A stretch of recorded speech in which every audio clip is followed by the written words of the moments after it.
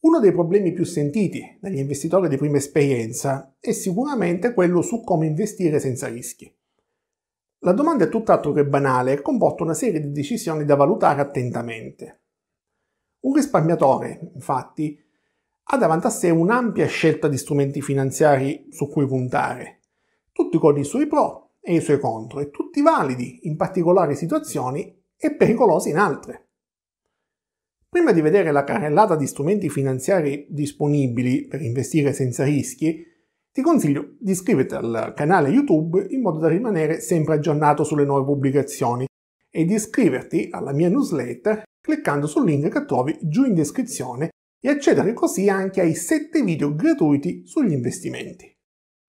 Bene, iniziamo col primo strumento finanziario, investire in BTP e altri titoli di Stato sono in pratica i titoli di Stato come BOT dal trimestrale agli annuali di tipo 0 coupon, oppure i CTZ biennali sempre di tipo 0 coupon, i CCT da 2 a 10 anni a tasso variabile e i BTP da 2 a 30 anni a tasso fisso.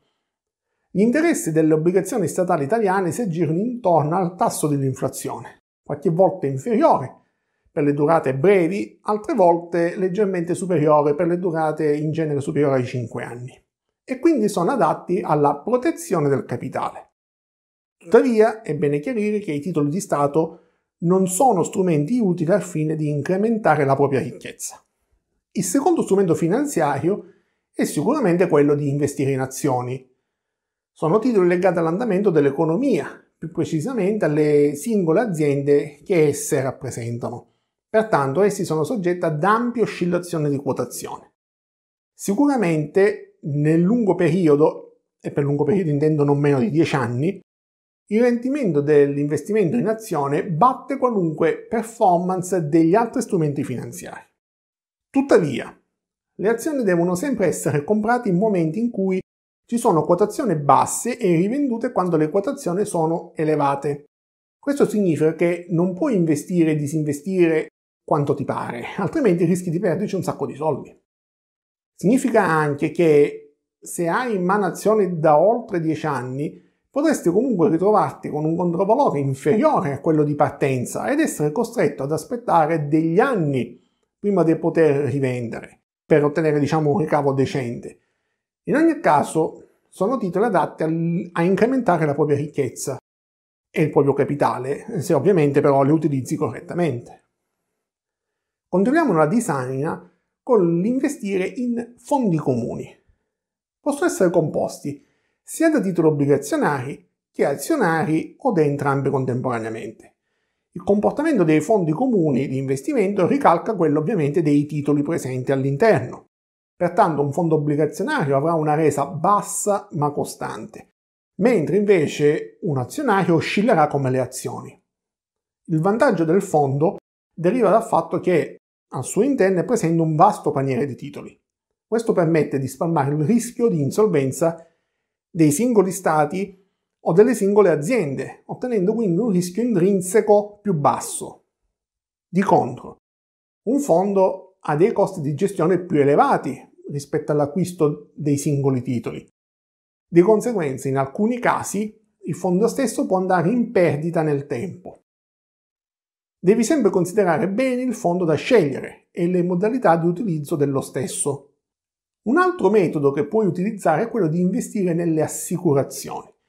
In genere sono piazzate tramite degli agenti i quali vengono a bussare alla tua porta in stile venditore di aspirapolveri. La particolarità di queste polizze miste è quelle che hanno una copertura assicurativa al loro interno.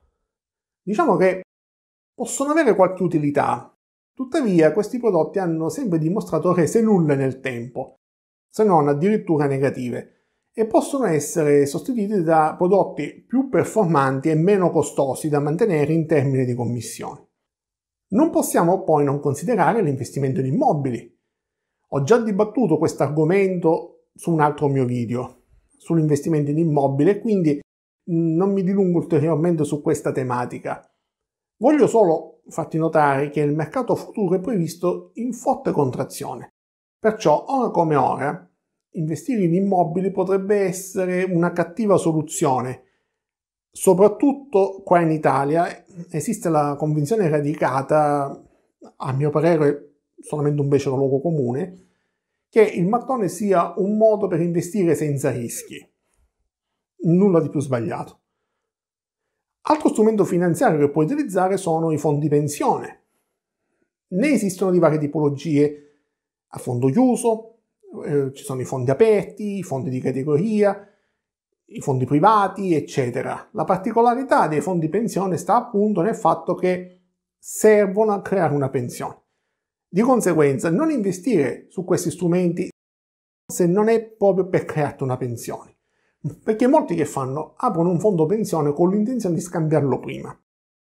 Anche se spesso questa è un'operazione fattibile, deve essere esercitata solo ed esclusivamente in caso di estrema necessità. Questo perché le penali o i costi di esercizio di questi prodotti rendono la risoluzione del contratto anticipata parecchio costosa. Detto questo, posso aggiungere che ogni strumento finanziario ha i suoi pro e i suoi contro. Non esiste lo strumento adatto a tutte le esigenze, né quello che non serve a niente. Ogni prodotto è stato creato per risolvere una specifica esigenza e per tale esigenza deve essere adoperato. In definitiva, investire senza rischi è una tematica complessa da trattare Perciò necessita della mano di un professionista che almeno ti possa indicare o ti sveli da dove cominciare a guardare. Ok, chiudo questo video ricordandoti di iscriverti al mio canale YouTube e di cliccare nel link giù in descrizione per accedere ai 7 video gratuiti sugli investimenti.